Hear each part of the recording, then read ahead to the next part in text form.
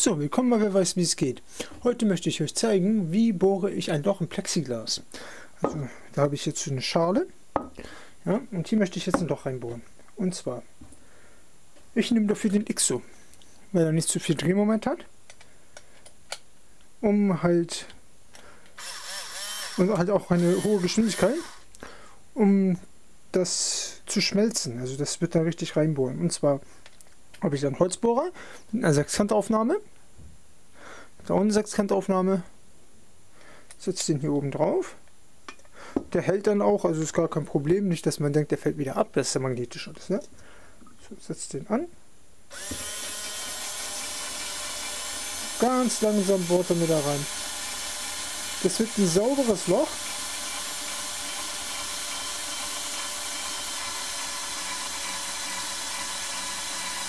Das ist ziemlich dickes Plexiglas hier. So. Oh. Hier beim Zurückziehen ist das halt so, dass man das langsamer machen sollte. Man sollte den Bohrer gehen lassen und nicht Druck ausüben. Jetzt schaut mal. Wirklich einwandfrei sauberes Loch. Das können wir auch hier an der Seite machen.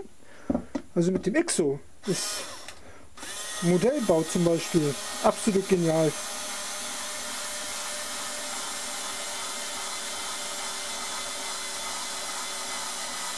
Dafür würde ich euch auch einen Holzbohrer empfehlen. Da, da, da reinschneiden. Okay, der Akku ist leider leer. Das ist natürlich super optimal.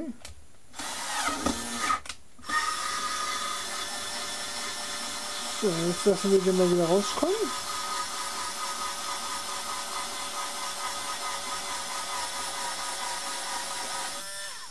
Ohne Vorbauen, ohne alles. Wirklich ein einwandfrei sauberes Loch. Hier haben wir noch eine Kante, was aber. So. Also mit dem IXO kann man wirklich sehr geniale Sachen machen.